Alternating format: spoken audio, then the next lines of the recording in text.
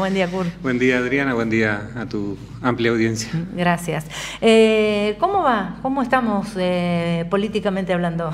Bueno, ahí eh, ordenándose el tablero nacional, bueno, ya hace 15 días, con la definición de los Fernández como fórmula, Alberto y Cristina.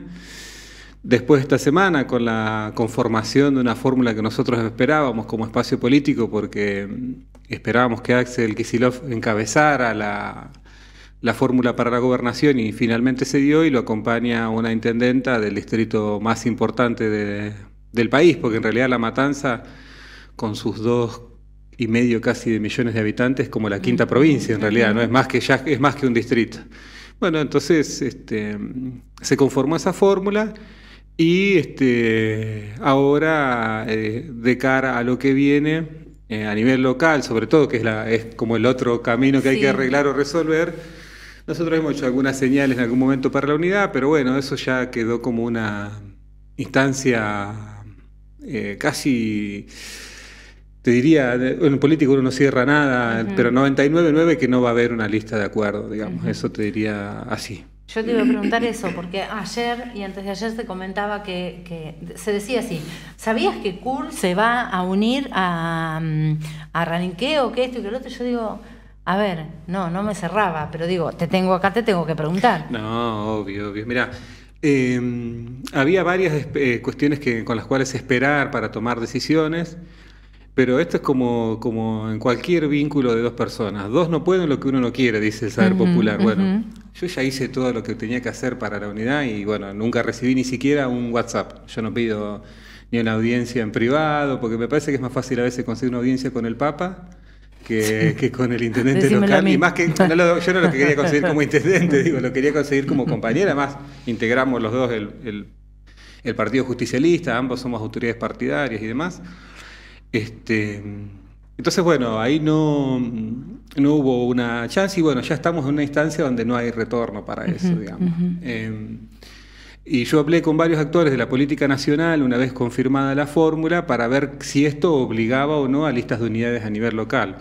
Y la bajada de línea es este, que no, que esto es municipio por municipio, que no hay distrito por distrito, digamos que no hay una, eh, una unanimidad de criterios, porque incluso muchos intendentes lo que plantean de distritos grandes es que si, si, no puede haber lista de unidad, que haya una paso ordenada.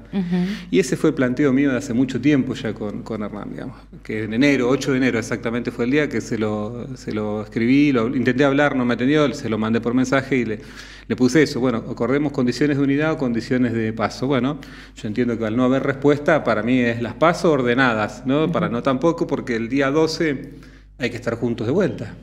Digo, porque nos va a forzar, en esa unidad nos va a forzar eh, las pasos, ¿no? ¿no? Y es difícil también que yo, después de ya tanto recorrido, haber comprometido mucha gente, haber conformado un grupo militante sostenido en el tiempo, les diga ahora que, que, voy a hacer un acuerdo, digamos. Y acá el acuerdo no tiene que ser de cargos ni de dirigentes, tiene que ser un acuerdo amplio y de, primero de qué vamos a hacer con 25 de mayo. ¿A dónde va 25 de mayo? Segundo, cómo lo vamos a integrar al resto de la provincia. Tercero, recién ahí vendrían los nombres.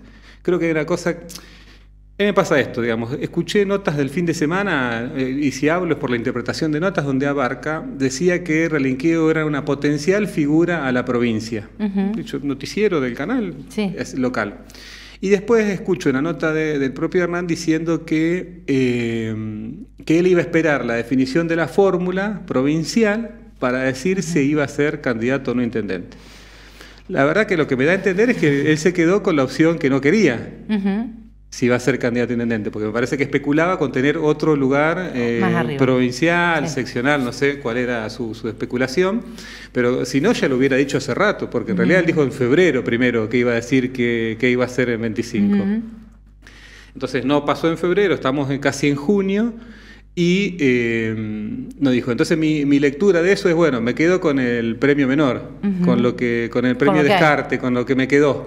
con lo que hay. Digamos, claro, ¿viste? Y la verdad que eh, nunca fue nuestra, nuestra postura. Nuestra única decisión es ser eh, gobierno a nivel municipal. esa es nuestra voluntad, ir por el cargo de la intendencia municipal. Yo no quiero ser ni legislador provincial, ya lo dije 20.000 veces. Mm. No quiero ningún cargo en el Ejecutivo, en el futuro Ejecutivo Provincial. En todo caso, será una decisión que tomen mis compañeros, que me digan ellos para qué estamos. Si es que hubiera que, hacer una unidad, pero me parece que esto sería una unidad de las trompadas ya a esta altura, digamos, figurativamente, ¿no? no nos vamos a pelear con nadie. Pero digo, no me parece que a esta altura haya cuestión. Y además, como siempre, hay como una permanente provocación en algunas cuestiones. La semana pasada estuvo el referente de Compromiso Federal, que es el partido de los que, encabeza Alberto Rodríguez el 25 de mayo, y nunca dijo que yo había hecho un acuerdo con ellos, pero lo que dijo que la opción que veía más viable era la de mi persona. Sí tergiversaron, quisieron forzar para decir que yo ya había hecho un acuerdo con los Rodríguez Ay que me había sacado como de encima a quien es mi, representación política, que Cristina Fernández, digamos, que no la escondí nunca, que siempre, aún en los peores momentos de la figura de Cristina, yo estuve plantado ahí. Eh, y lo otro, después, este, que empiezan como a querer hacer una estrategia de, eh, como nosotros somos el Frente de Unidad Ciudadana, donde realmente está la Cámpora, Nuevo Encuentro, Colina, Compromiso Federal, varios actores de la política local, empezaron a duplicar los sellos. Y entonces ayer, y hoy está en el matutino local, Perdóname que hable de todos los otros medios, pero sí, sí, sí, así es como se conforman las noticias. No tenemos problemas, no tenemos problemas. así es como se conforman las noticias. Igual cuando voy a otro lado, digo, hablé con Adriana tal cosa, así que vos quedate tranquila que yo lo que hablo en cada lugar lo ordeno. Este, aparece personas que ya estaban desvinculadas de la política, digo por dichos propios, diciendo que ahora habían conformado un nuevo encuentro. Un nuevo encuentro hace rato que está conformado y la figura representativa del nuevo encuentro sabemos todos que es Carlos Bertoni. No hay, siempre y ha sido siempre. Entonces ahora otra vez. Armaron como otra doble, una, una segunda cámpora, por decirlo de alguna manera, eh, o una cámpora de outlet, que es este mm, eh, la eh, otra vez como que quisieron poner a, a Maxi Sosa como referente de eso van a querer hacerlo con todos para confundir al vecino que por ahí no está politizado. A ver, vamos a ordenar las cosas. Que lo único que espera el vecino es que le digan a quién tengo que votar y quién está en la lista. Uno eso, y lo, no, que en realidad tampoco, tampoco, porque eso es nuestro de los políticos, te diría. El vecino lo que está queriendo es que le limpien la calle, que le junten la basura y que le iluminen el barrio, que es lo mínimo que tiene que hacer un intendente.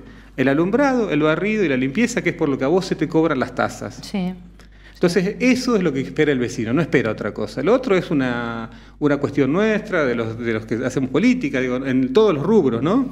La gente no está enterada promedio si, si eh, es más, cuando yo hago reuniones con vecinos, lo primero que me preguntan a veces es, ¿y vos con quién estás? Este, ¿Y qué vas a hacer? Y no, me no, está todavía el clima político de pleno. Lo tenemos nosotros, ustedes, los comunicadores, los que estamos con cierto eh, nivel de información propio de, esta, de este momento de la política local, nacional. Después el vecino en realidad está preocupado, primero por comer, porque la crisis no te lo vas a saber vos, a vos te piden cientos de cosas los vecinos. Mm. Eh, después, está preocupado por llevar el mango a su casa, por terminar esa piecita que le quedó hace meses sin terminar y que quiere trasladar a los chicos porque los tiene durmiendo en el comedor. Eh, eso está preocupado. Está preocupado por los remedios, está preocupado por tener un turno en el hospital. No está preocupado por qué hacemos los dirigentes de la política. la verdad es esa. Tal cual es esa. Entonces a veces también parece medio mezquino de nuestra parte tener que salir a hablar de estos temas. La agenda hoy es en esos términos. Comer, vestirse, terminar su casita, poder tener medicamentos pagar el alquiler. Los, todos que tienen casa en alquiler hoy están... Es terrible. Como ultra preocupados de cómo se llega, cómo llega su inquilino a pagarles el, sí. Eh, la, cantidad de cortes que ha tenido el canal local, de distintos servicios, la gente que se ha pasado de gas, del gas natural a garrafa, que es una mm. involución total eso, porque una vez que vos lograste tener gas en tu casa, no querés volver a andar con la garrafa. Sí, pero lamentablemente. Obvio, porque te, ordena el gasto. Lo que se ha ido a las nubes la leña. La tonelada de leña está arriba de 2.500, claro. Entonces van combinando un poquito de leña con la salamandra, eh, un poquito de calefacción eléctrica con un caloventor, un poquito de calefacción con una pantalla gas, digamos, como que van buscando alternativas. Y esa es la agenda del vecino. ¿Cómo zafar de la crisis en la que nos metió Mauricio Macri y Mario Eugenio Vidal? Y cómo lograr que el municipio le dé alguna respuesta para poder subsistir. Tal cual. Esa es la agenda local. No pasa por otro lado. Otro es una agenda de dirigentes, nada más. Sí, sí, sí, tal cual. Este, vos sabés que yo, mm, es verdad lo que vos decís. A mí me pasó que en este último tiempo empezaron a sumarse los pedidos, sobre todo por el frío y demás de la salamandra, si me conseguís una salamandra, si me conseguís esto, eh, ropa para los chicos, o, está, empezó de nuevo el trueque. Sí, ¿eh? Te cambio sí. Un, un paquete de fideo por un litro de leche o una cajita de leche. Sí. Y el tema de los merenderos y las cosas que surgen, Totalmente. este, que, que bueno, que son necesarias, lamentablemente. Que es triste que tengamos que estar hablando en este momento de estas cuestiones, pero que, es una realidad. Y, y que más allá de la definición política de cada uno de nosotros, la gente no vivió esa situación durante, el- la verdad, que durante el gobierno de Néstor y Cristina. La verdad que hay que decirlo. Vamos, estaba, se estaba mal en muchas cosas, sí. Hubo que mejorar y hay que mejorar la institucionalidad, sí. Ese famoso lema de tenemos que volver mejores es claramente así. Pero me lo decían vecinas ayer a la tarde. Yo comía. ¿Mm? Comía, digamos, lo básico, comer. O, por ejemplo, el Estado te podía responder a través de alguna de las herramientas. Hoy, esto que vos decís del trueque anoche me pasó, que es tristísimo. Una persona adulta que está casi mm, inmovilizada en su cama, la hija cambiando eh, pollos que, que de, de lo, con los cuales se mantiene por eh, caja de leche. Ujú. No, no, es, el- el- es un desastre Es un esto. desastre, sí. Es un Digamos, y esa es la agenda real, comer. Entonces, Hoy lo más importante es el tema de la comida. Hoy la comida, ver cómo se llega a pagar el alquiler, ver cómo se termina, insisto, eh, yo- no, eh, esa es una diferencia que vos tenés con muchos comunicadores. A vos todas esas cosas te llegan todo el tiempo, a tu teléfono, a tu Facebook, a tu WhatsApp. Como- Me consta porque cu- cuando trabajé en el área social, eras receptora de muchas de esas demandas. Entonces, esa es la agenda de hoy. Y como vos bien decís, la ropa para los, para los- Entonces, hoy nuestra estrategia política ha quedado casi en desuso o de, o de- atrasada. Igual preguntan, ¿quién va a ser Sí. el que nos dé la posibilidad de mejorar? No solamente arriba, acá también. Sí, Porque sí, ¿qué pasa? Acá, sí, no, no puedo mentir, ¿no? Pero se hace lo que se puede desde el área de, de acción social, aunque a veces a mitad de camino se cortan los, Sí, se cortan algunas los- cosas. Pero, y a vos también te ha pasado. Puf, por eso me fui. Eh, claro, pero por eso te digo, y, y, y el que trabaja realmente a veces es como que lo como que lo frenan, ¿viste ahí? Pero la realidad es que hoy pasa por eso, no pasa por otras cuestiones que también se ven políticamente hablando o haciendo campaña, porque hoy yo abría el programa, y sé que no les va a gustar lo que le voy a decir, pero abría el programa contando la cantidad de mensajes que me llegan a mí desde el área de comunicación de la municipalidad diciéndome que los torneos bonaerenses, que el camioncito, que el otro camión, que la poda, y la gente no tiene para comer. Es esa la agenda, digamos. O, o anunciar 25 millones de pesos en cordón cuneta, cuando nosotros insistimos que para nosotros la agenda pasa por hacer vivienda y con esa plata hubiéramos hecho 50. Insisto, faltan 1.200 viviendas el 25 de mayo. Pero yo, aunque sea, quisiera hacer un mandato donde termine con 350, 400, con recursos propios. Que además Después, quedaron pendientes eh, alguna y, vez. y muchas miles. quedaron, quedaron en, en el camino, eh, muchas no se gestionaron. Bueno, después si viene una, una, eh, un programa de viviendas nacional o provincial, buenísimo, pero yo pienso cómo hacer con recursos propios. Bueno, entonces Cordón Cuneta no es el camino. No. Y menos hacerlo en lugares donde no vive nadie. Digamos, ¿Qué sentido tiene 1 y 36 hacer mano izquierda, hacer eh, Cordón Cuneta, si un baldío enorme? Mm, ¿A quién le cambió la vida? A nadie. No, al contrario, le perjudicó porque con el tema de las cloacas después se rompió todo, se reversó todo y se hizo un despelote.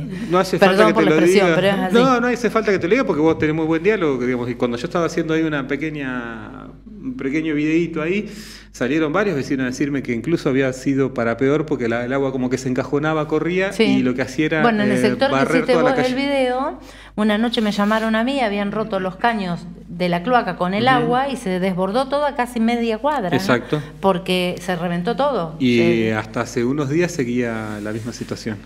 En calle 30 y- Eh, 302, Cuatro y no, 304, 9, 304, 11, 304. Bueno. Toda esa zona. Entonces no te... Mira, esa, esa es la agenda real. Es la agenda real. Después, lo bueno de la campaña es que uno va aprendiendo muchas cosas, y, independientemente de si nos toca o no ser gobierno. Eh, la cantidad de empresarios pequeños y medianos, 25 que están dispuestos a hacer esfuerzos para contratar a alguien y que necesitan tal vez que el municipio haga también pequeños esfuerzos para mejorar. Ese sistema, de- hace poco en esto de los anuncios, se anunció que se habían dado 1.200.000 pesos en créditos, que en realidad es una cifra que hay que dividir en tres años. Y si vos Ujú. dividís por 96, que son la cantidad de préstamos que se dieron, te da 12.000 pesos. Una máquina de coser que tenga varias funciones, cuesta casi 13. O sea, dividido no te daría ni para una máquina de coser. No Entonces, por ahí lo que hay que hacer es juntar nuclear y apostar a dos o tres empresas de fortalecerla, más que a lo individual. Porque si vos no tenés el sistema de venta, no tenés el sistema de compra bien, bien hecho, vos podés hacer cosas maravillosas individualmente, pero no sabés cómo venderlas o cómo comprar mejor. Y ese es el secreto de cualquier negocio. No hay otra, otra ciencia. Vos fijate lo que le pasa, por ejemplo, a CEST, la cooperativa. Hace un producto muy bueno y particularmente el calzado de lo que tiene que ver con eh, calzado para trabajo, con punteras y todas esas cosas reforzadas, es de calidad, es muy bueno, pero no tiene quien le venda. No. Entonces, tenés producción y cómo vendes. Bueno, entonces, digamos, eso es una... Y esas son cosas que te... Exacto. ¿Qué, forma encontramos nosotros? Vinculamos a Gestara, que es un grupo de empresas de economía social, fábricas recuperadas y demás, que se dedica a eso. Entonces, el viernes que viene, por ejemplo, vienen ellos a hacer un curso junto con varios cooperativistas y demás. No lo vamos a hacer en el local, no lo vamos a hacer con un carácter político para que todos se rimen a participar. De hecho, estamos viendo a ver si lo podemos hacer en alguna institución o entidad que no, esté vinculada a lo político, incluso para que, que, sea una herramienta real para el 25 que quiere hacer eh, eh, una, un emprendimiento que lo tiene o que no sabe cómo vender o cómo colocar su producción en otros lugares. Entonces digo, esa me parece que va a ser más la agenda que decir si yo soy candidato, si no soy candidato. Si yo soy candidato. Ahora, eh, eso queda a un segundo lugar con la agenda diaria. Tal cual. Eh, Kur, yo te escucho hablar y todo y, te tengo que preguntar. Dime tú, obvio. Es, tu trabajo. Este, ¿Cómo te sentís vos después de haber eh, estado con Hernán, de haber trabajado con Hernán, después de todo lo que pasó, que hoy se hable tan mal de vos? Mira, eso es una estrategia que ha armado también varios sectores del Ejecutivo, ¿no? Plantear eso de que no lo de que uno hizo tal o cual cosa. Yo ya sé eso. Mira, cuando vos te expones públicamente viene lo peor de cada Preguntan cómo vivo, de qué vivo. Eh, utilizable no, no sé cómo es la palabra. El término, el término, sí, sí, sí, quiero usarlo, no hay problema. No, no, no, no me voy a ofender lo más mínimo, porque uno, se quedó con esa sensación, digamos, ¿no? Claro. Yo aposté en el 2000, eh, yo no soy originario del grupo de Hernán, ni, ni lo era. Sí me sumé fines del principio del 2015 por un acuerdo con el diputado provincial César Valicenti, que fue él el que me fue a buscar y me dijo, activar el 25 de mayo y darle una mano a Hernán. Eh, y así fue que, empecé a participar, que acompañé, que acompañé económicamente, digamos, tampoco me da vergüenza decirlo. Este, varias cuestiones de esas que, que acontecieron. Después yo nunca pedí nada a cargo. Me llama Hernán y me dice, me daba dos opciones, ser o el director del hospital de Riestra, creo que lo he contado ya acá, o el responsable del área mm, social en 25 de mayo. Yo le digo, mira, el hospital no es un problema porque yo tengo un título habilitante en la salud para poder serlo, pero el tema es que eh, cuando no hay guardia tiene que cubrir el director y yo no puedo más que escucharla a la gente, no le puedo resolver una fractura, una sutura o esas cosas. Entonces este, le, decía que no, porque no era el mejor lugar. Entonces le digo ir a lo social. Pero así fue el acuerdo armado. No es que yo pedí, mirá que si yo acompaño, acompaño con mi, con mi figura, con recursos, voy a, quiero tal área. Nunca la pedí. Es más, consulté, después de esa reunión con Hernán, consulté eh, a quien yo considero que es mi conducción política, que es el diputado César Valicenti, y le digo, este, ¿qué hago? ¿Acepto? No dice, no, aceptá, vamos a bancar esto, qué sé yo, ya, y hice toda una movida para estar. De hecho, si a mí me interesara lo económico o lo personal, a mí el ministro de Desarrollo de la, provincia dos veces me ofreció irme a trabajar con él. Te días para allá. Me hubiera ido para ahí, ¿qué problema tenés? Estás en un lugar menos expuesto, no te... Y la verdad que no, no quise hacerlo. Eh, quise instalarme a 25, hacer lo que estoy haciendo hoy, mis hijos ya están grandes, tengo resueltas algunas situaciones de la vida, con lo cual mm, quería, era un buen momento para dedicarme a estar en 25. Dos opciones, o te quedabas acá ahora o te quedabas tranquilo en tu casa. Me podía quedar, sí, viviendo en otro lugar, qué sé yo, la verdad que lo, hubieran sido las opciones que tenía, y, tampoco por esto soy un mártir, porque después viste la gente dice, ah, qué sacrificado. No, no, no soy un sacrificado, tomé una decisión que en este momento de mi vida podía hacerlo. Insisto, yo ya tengo hijos, mis hijos están grandes, tienen otros tiempos, tienen su actividad, su trabajo y su estudio en Buenos Aires, no, no, están, con, están con su agenda propia, con su vida propia, entonces están en su actividad. Y entonces dije, bueno, es un buen momento para estar eh, en 25 de mayo, instalarme y demás. Después se dio esto, que un grupo de compañeros decidieran que yo fuera el representante del espacio y potencial candidato a intendente. Así fue que se armó esto. Bien. Entonces, si, si, ¿y sabes quiénes son los que hablan eh, mal de mí? Los que nos traicionaron. Ellos hablan mal de mí. Tal cual. Entonces yo estoy tranquilo, porque si esas personas hablan mal de mí, Es porque sos importante. no sé si soy importante, digamos, tampoco. Yo lo- lo- lo Ah, termino así, ahí ¿eh? Es como la canción de Damas Gratis. No, repita. no, no te creas tan importante, dirían los, como los chicos de Damas Gratis, me encanta la canción, Claro. pero la verdad que no sé si soy importante o no. Sé que soy una piedrita en el zapato hoy para las ansias de poder y de construcción sin, sin crítica. Y la verdad que yo nunca fui un tipo que se cayó la boca dentro del espacio. Nunca fui un obsecuente. A mí, ¿de qué me sirve decirle a Ralinqueo que es lindo, inteligente y el mejor intendente de la historia?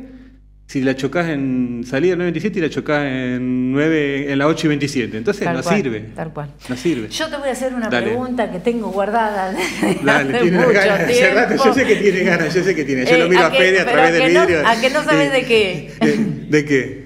Hogar canino. Hogar canino. ¿Qué querés que hagamos con el hogar ¿Qué canino? hiciste? ¿Por qué tomaste la decisión que tomaste o quién te impulsó o te empujó a tomar la decisión que tomaste de sacarle el hogar canino a Norma? Bueno, vos sabés que uno no toma ninguna decisión si no la consultan. En, en una, en un gobierno. Perdóname, eh, pero te lo tenía que preguntar porque cada vez que venís Pero, lo ¿por tengo qué acá. no? Además, yo la verdad que... Porque yo me acuerdo la charla quedó que un, tuvimos. Quedó un enojo con pobre, con, con Norma, eh, que eh, me parece que fue innecesario y demás. Eh, yo creo que había decisiones que había que tomar en el hogar canino, sí, porque bueno, vos sabés cómo estaba, cómo fue mejorando en algunas cosas, no en lo ideal, porque yo fui a ver como modelos el de Saladillo y el de Roque Pérez y me parecían que a ese camino había que ir. Pero este, vos sabés que las decisiones nunca son individuales en un gobierno, digamos. ¿no? Y, y yo tomé ese tema que no lo tenía ni en, ni en ninguno de los de la de, de- de- Vos de no, pero la- el intendente lo tenía en lo el tenía librito. en el librito, es cierto. y, pero como que estaba Norma cumpliendo esa función, nunca se pensó, no era una de las cosas que yo tenía como tema urgente. Me preocupaba más los CAPS, me preocupaba el tema alimentario, los talleres, además, la salud mira, mental. Si, si me permitís que te Sí. recuerde, eh, fue en el mes de febrero, Eh, eh, sí, ustedes habían, situación eh, eh, que estuvimos en la municipalidad de Salón en la Blanco. municipalidad, y la palabra que, que diste vos y que dio gente que estaba con vos Sí, en ese sí. momento, no fue lo que pasó después. Exactamente. Por eso yo siempre me quedé con esa, la vena, como dicen los chicos, ¿viste? Te quedás con la vena, no sé si se usa más. No importa, bueno, pero la expresión es que se quedó- te quedaste quedaste enojada, con digamos, la te vena quedaste de con el- decir, pero ¿por qué me hizo esto? Sí, digamos, uno un poco la decisión, el- la- los malos entendidos con, con- que hemos tenido, incluso con, con Norma en ese momento, eh, la aparición de, de otros sectores, de otros grupos de proteccionistas que, se, que nunca se pudieron juntar, porque hay como tres, incluso hoy Sí, sigue habiendo como sí. tres o cuatro. Eh, una idea de proyecto de, de- de- de- canino que nosotros pensamos que podía funcionar y eso nos quedó ahí en la mitad de camino. ¿no? Ahí el, el problema mayor creo que fue no poder acordar con Norma cómo eh, convivíamos. Ujú.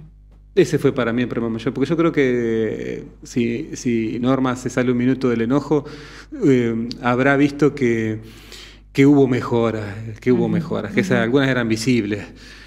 Ahora, ninguno de nosotros, ninguno de nosotros iba a tener el cariño por los, por los perros que tiene Norma. Y, y eso es donde me parece que ahí es el punto de quiebre que, que no se pudo acordar. Y el hecho de, de- de cerrarlo tipo... no Ahora se cerró entrar- mucho más Sí, todavía. ahora está más cerrado. Más no se puede ni, ni- ni ver para adentro. Pero te quiero decir, el hecho Mm. de cerrarse en eso y decir, acá no entra nadie, acá no pasa nadie, acá...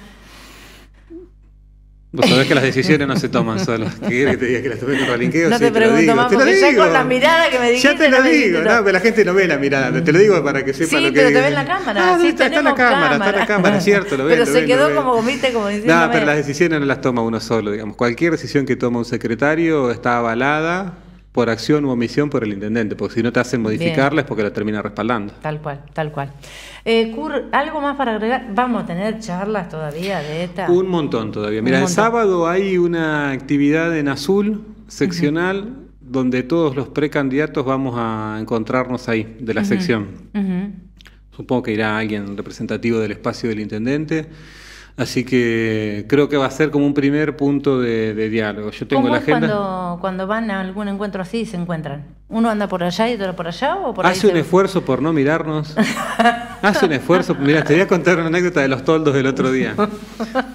Estamos en el acto de los toldos y quedamos por un hecho fortuito. Nosotros ya estábamos, estaba con Julio Brunelli y quedó Walter Abarca a la derecha nuestra que nos saluda y quedó Hernán a la izquierda. Y que nosotros en el medio.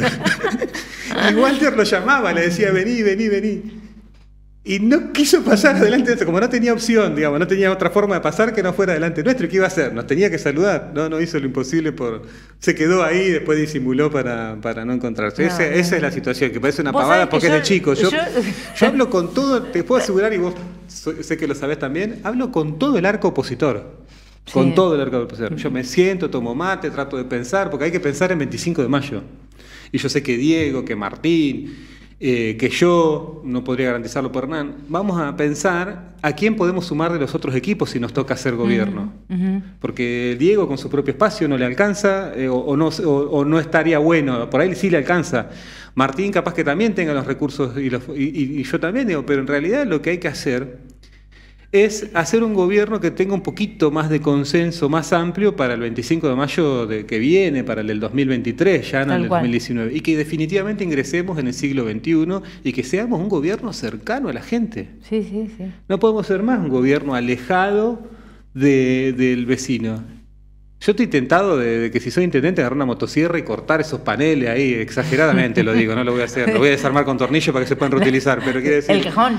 El cajoncito ese, sí, sí, sí, el cajoncito. Yo le digo el cajón. ¿Te acordás cuando entré hecho una fiera y una y le dije, ¿qué hacen con estas oficinas acá con este cajón? Nadie, no se hizo nunca. En la historia del 25 de mayo, en los No, jamás. casi 190 años que tiene 25 Jamás. de mayo, pasó Lo eso. único que se hizo una vez, que fue en el gobierno de Iturria, que puso porteros en las puertas. En las de- puertas.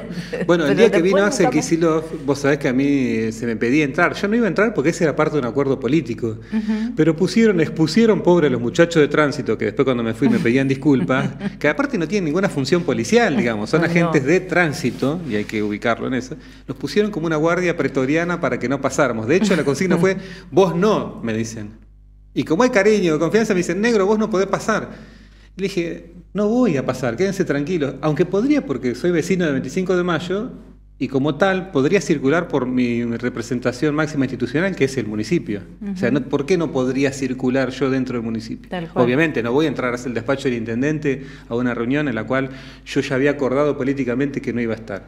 ¿Y para qué exponés a los a, a trabajadores a esas cosas? ¿Para qué los perseguís para que vayan a un acto? ¿Para qué les decís que este, eh, no me pongan me gusta en las redes porque los retan? Sí, Insisto, es verdad. tranquilos muchachos, ustedes construyen sus propios fantasmas. Es verdad. Y pensaron que yo me iba a ir a, a- a- a hacer otras cosas, que mi actividad privada o mi actividad pública que tengo, y demás. Han instalado cosas tremendas y que van instalando a medida que nosotros crecemos políticamente, perdón que, que tome este tiempo, pero para Sí, sí, cerrarlo al tema, han instalado cosas eh, jodidas de parte de uno. Mire, yo para ser claro, yo tengo, yo trabajo en la Cámara de Diputados como una- un asesoramiento al bloque y después hago trabajo de consultoría privada, de eso vivo. No hago, tra- no hago tra- trabajo de consultorio porque no he decidido hacerlo todavía en este tiempo. Vos y vivo de eso. Yo soy psicólogo de profesión, tengo una maestría ¿y en sistemas de salud y seguridad social. ¿Pudiste analizar un poco algunos? No, no, no porque, no porque es, eh, eh, técnicamente eso es una agresión. Cuando la persona no se presta a ser analizado, si vos lo haces, la verdad, Bueno, yo técnicamente me es una agresión. por favor, analizame. Dale, encantado de la vida, pero vamos a otro ámbito. Si no, hacemos una sesión pública. ¿no? Este, hacemos un uh, necesitamos 45 50 minutos únicamente de sesión. ¿Te imaginas? Sería inédito. Hagamos sesión en la radio, Bueno, lo sacamos al mundo. Escuchame, tiran las cartas, hacen todo en, en la radio, ¿no? Porque, ¿Por qué no? Ah, Leemos la borra de café, todo. todo. No, sería, yo te digo que sería muy ilustrativo. Eh, avisamos ese día a la UBA y a la Universidad de Buenos Aires y a la Universidad de La Plata que lo pongan porque vamos a hacer trabajo práctico acá. Así que, este, nada, eso, yo me dedico a eso, vivo de eso.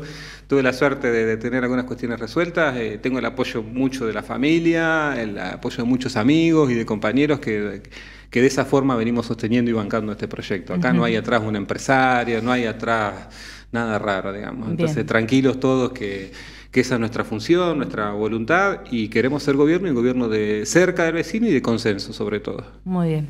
Eh, Kurt, no sé si quedó algo por decir. de todas maneras, este, estamos en contacto, ya, ya sabés dónde estamos, cuando quieras venir. Una linda casa tienen, muy linda sí, casa. Sí, estamos haciendo todo lo mejor para que se sientan todos cómodos. Y, están, en el, están, en el, mejor lugar del 25 de mayo, que es el Club Alumni. Yo soy hincha del club, así que... Este, y además nací acá, el 22, 7 y 8 nací yo. No me digas. Sí, ahí enfrente del taller de Pinta Comucio, por eso soy hincha de este club y tengo un cariño este barrio. Muy bien. Eh, gracias por haber venido, Kurt. Una linda charla tuvimos. ¿eh? La próxima es psicología. Dale. Nos vamos, hasta luego.